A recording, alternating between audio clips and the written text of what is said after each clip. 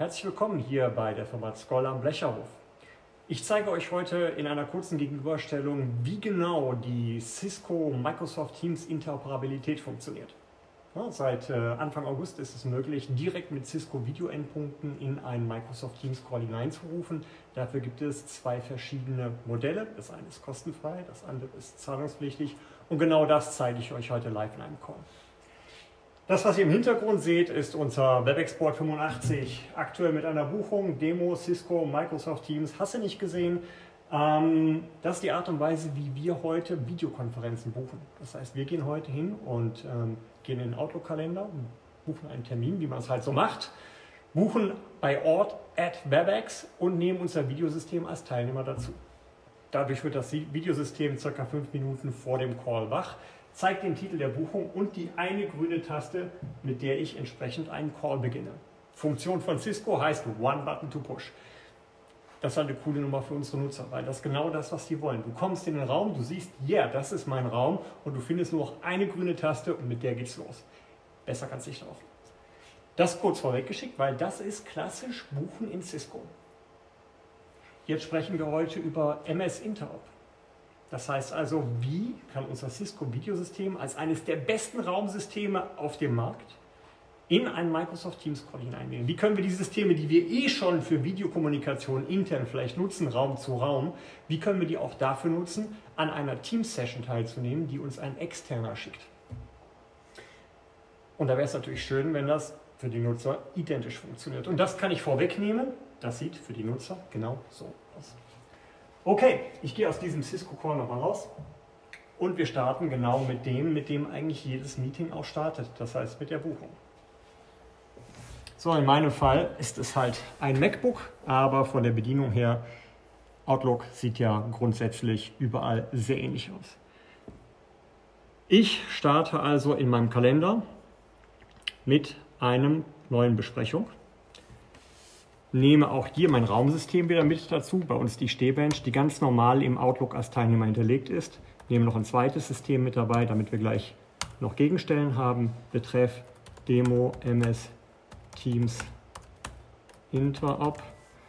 Okay, und mache aus dem Ganzen über den Button Teams Besprechung eine Microsoft Teams Meeting. Also das gleiche im Prinzip wie einen ganz normalen Kalendereintrag.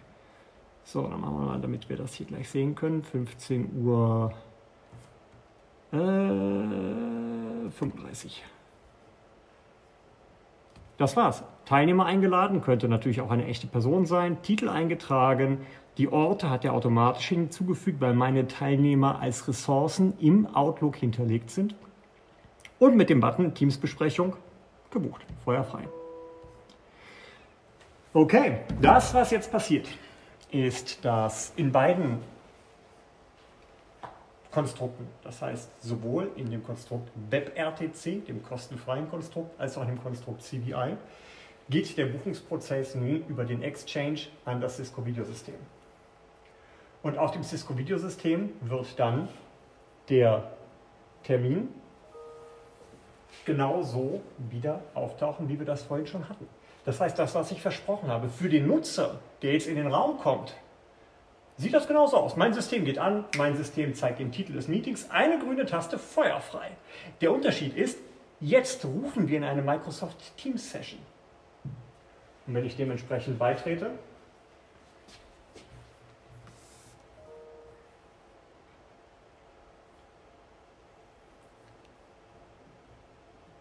und das gleiche jetzt mal, ich muss hier einmal muten, und das gleiche jetzt an meinem MacBook direkt über Microsoft Teams entsprechend mache, als zweiten Teilnehmer. Auch hier kurz Mute.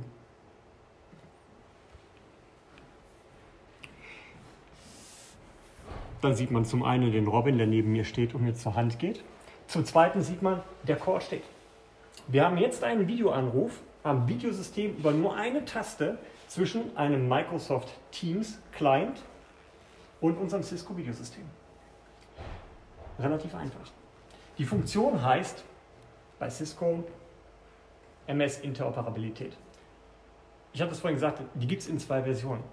Einmal WebRTC. WebRTC ist eine kostenfreie Funktion. Jeder Cisco Video-Endpunkt ab der Room und ab der Board-Serie, so, also drei Jahre, ah, drei bis vier Jahre, ist in der Lage, das zu machen. Das sind all die Cisco-Endpunkte, die eine eigene Web-Engine haben. Das ist Cisco Room Kits, Cisco Room 5570, das ist äh, die, die WebEx Boards, das ist die Desk Pro als Chefzimmersystem oder als System für Huddle Spaces und das ist sogar die Cisco Panorama. Diese Systeme können an jedem Microsoft Teams Tenant teilnehmen. Ich bekomme eine Microsoft Teams Einladung von extern. Ich nehme meinen Raum in den Termin mit dazu. Das System nimmt teil, wie gerade gesehen. Die andere Funktion, die es gibt, ist das CVI.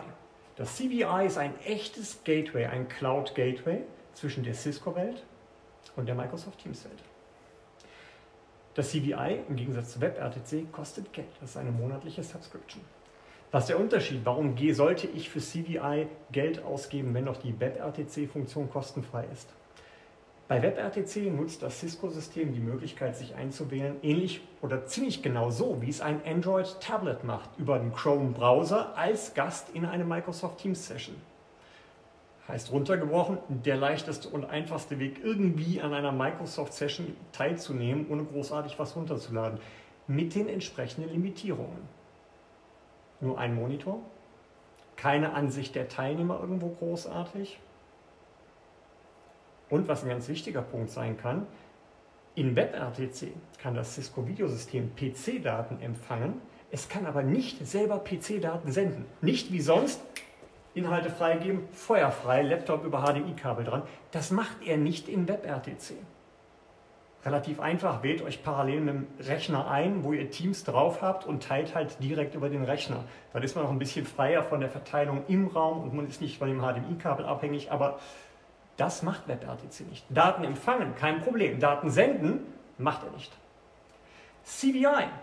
CVI funktioniert nur mit einem spezifischen Tenant. Das heißt, Michael Skoll von der Firma Skoll lädt in einen Microsoft Teams Session auf dem Skoll Tenant ein. Dann geht das mit meinem System. Werde ich von extern eingeladen, fällt es wieder zurück auf WebRTC. Bei CVI kann ich mehrere Monitore nutzen. Das machen wir gleich mal. Wir sehen uns das an. Bei CVI kann ich PC-Daten senden. Ganz entscheidender Vorteil bei CVI haben die Cisco-Systeme unter sich. Ne, stellt euch vor, ihr habt mehrere Standorte. An jedem Standort habt ihr ein Cisco-System. Und zusätzlich habt ihr nochmal zehn Teilnehmer per Microsoft Teams. Die Cisco-Systeme machen unter sich in CVI die gewohnt hohe Cisco-Qualität. Und erst im Übergang zu Microsoft Teams kommt dann entsprechend der Bruch. Und ganz ehrlich, ihr seht das auf dem Board. Ein äh, Microsoft Teams Call auf einem 85 Zoll Board sieht schon fies aus. Aber das ist die Qualität, die halt in Teams drin ist. Deswegen kann CVI dort eine echte Lösung sein. Noch ein ganz wichtiger Unterschied, ganz kurz, bevor wir in den Panoramaraum gehen. Was brauche ich, um WebRTC zu machen? Wir haben gesagt, Room-Serie, Board-Serie, Serie, ne? Desk Pro Panorama. Das Ding muss Cloud registriert sein. Das geht nicht on-premise. Es muss für WebRTC Cloud registriert sein. Und erst dann kann ich die kostenfreie Funktion nutzen. CVI funktioniert auch mit Systemen, die nicht Cloud registriert sind. CVI funktioniert auch mit Systemen, die älter sind. CVI funktioniert sogar mit Systemen von Fremdherstellern. Dann im Zweifelsfall halt nicht mit One Button to Push, sondern mit einer manuellen Einwahl. Zeige ich euch gleich. Okay, lange drüber gesprochen. WebRTC. Ein Monitor, keine Teilnehmeransicht, alles gut. Wir springen einmal in den Panoramaraum und ich zeige euch das gleiche mit mehreren Teilnehmern. Schnitt nicht, wird nicht besser. Wozu Videokonferenz, wenn man sich teleportieren kann? Egal. Ähm, ich wollte zeigen, in WebRTC geht immer nur ein Monitor. In CVI, das ist ein unschlagbarer Vorteil, könnt ihr mit mehreren Monitoren arbeiten. Cisco-Videoräume oder insgesamt Videoräume arbeiten gerne mit mehreren Monitoren, um Gegenstände, Inhalte, Eigenbild zu trennen. Was gäbe es Besseres, das mit mehreren Monitoren zu, zu zeigen, als unsere Cisco Room Panorama? Okay, ihr seht auf meinem äh, Laptop läuft immer noch unser Microsoft Teams Call. Wir waren vorhin bei dem, äh, beim Board 85 Zoll, ich habe die Desk Pro noch mit dazu genommen ähm, und wir nehmen jetzt den Panoramaraum mit dazu. Vorhin haben wir gesehen, Räume werden normalerweise eingebunden mit One-Button-to-Push. Aber bei CVI gibt es noch einen weiteren Weg. Und das ist die manuelle Einwahl, die ihr zum Beispiel braucht, wenn ihr ein älteres System mit einbinden wollt. Keine Room- oder Board-Serie, sondern eine SX80 oder eine MX700. Das machen wir hier. Das heißt, wir wählen uns manuell ein. Anruf, ich habe es in den Favoriten. Skoll.m.webex.com ist unser Cloud Gateway. Das heißt, unser CVI zwischen unserem Skoll Microsoft Teams Tenant und unserer Cisco Videostruktur. Wählen. Er alarmiert jetzt ganz normal das Cisco Gateway und fragt mich dann nach der Microsoft Teams Meeting Nummer, die ihr mit eurer Einladung generiert habt. Das heißt, so wie ihr sonst eine WebEx-Nummer eingebt, gebt ihr jetzt entsprechend die Nummer aus der Microsoft Teams Besprechung ein und ihr stellt schon fest, mit der Vielzahl von Nummern ist das äh, so eine Nummer, wo man sich direkt One Button to Push zurückwünscht. Aber okay. So, in meinem Microsoft Teams Client ist das System bereits mit dabei, wartet im Warteraum. Er war ja nicht mit eingeladen, er kommt nachträglich dazu und ich lasse ihn jetzt manuell mit rein. In Ordnung, zusätzlicher Teilnehmer.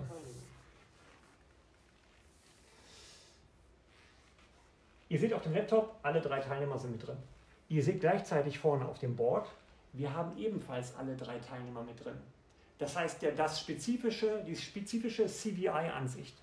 Wir haben auf dem linken Monitor immer noch die Desk, äh, die, die, das Board 85. Wir haben rechts die Ansicht der verschiedenen Leute, die gerade nicht sprechen. Der aktive Sprecher würde dann rüberwandern auf den anderen Monitor. Und das Besondere natürlich bei einer Desk Pro noch, dass ich auch den dritten Monitor nutzen könnte, indem ich dort meinen Bildschirm freigebe.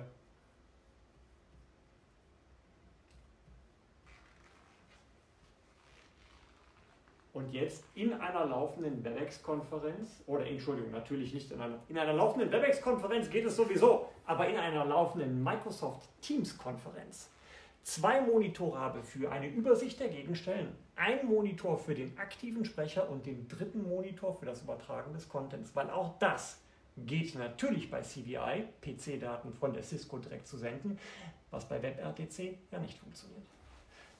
Zahlen, Daten, Fakten. WebRTC funktioniert kostenfrei seit Anfang August. Room, Board, Desk Pro Panorama, Cloud registriert, Hybrid-Kalender eingebunden in den Exchange. CVI wird gehen oder geht, wenn ihr das später seht, ab Ende August 2020. CVI braucht eine Subscription, die kostet monatlich 49 Dollar.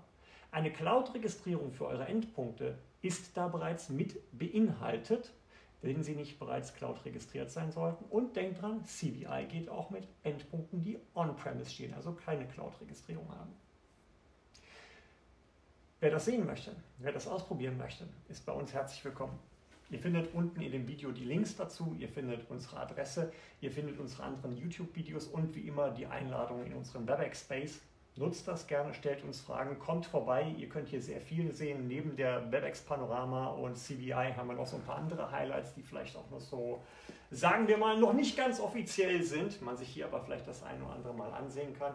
Wir freuen uns immer. Insofern viel Spaß und bis bald.